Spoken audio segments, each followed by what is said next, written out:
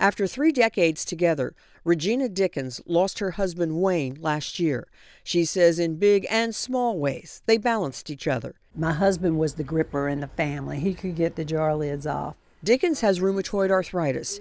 Her immune system is attacking her joints, especially in her hands and fingers. This was the most searing pain I think I had ever had. Treatment of rheumatoid arthritis is aiming at trying to get that immune system to behave again. A number of first line medications called TNF inhibitor therapies are designed to block the inflammation, but they're not fail proof. The holy grail of rheumatology has been how the heck do you know which drug is going to work for whom? Especially since the drugs often take months to work.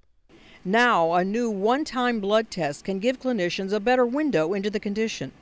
The PRISM RA test uses proteins in a person's blood to help determine the cause of the RA and whether TNF inhibitors will work. If the blood test says that you are not likely to respond to a TNF inhibitor, I just saved you 16 weeks of treatment that doesn't work. Dickens' PRISM RA test suggested TNF inhibitors were not a good option so she's on a different medication. I take an infusion now. Helping preserve her joints and maintain her independence. I'm Marty Salt reporting.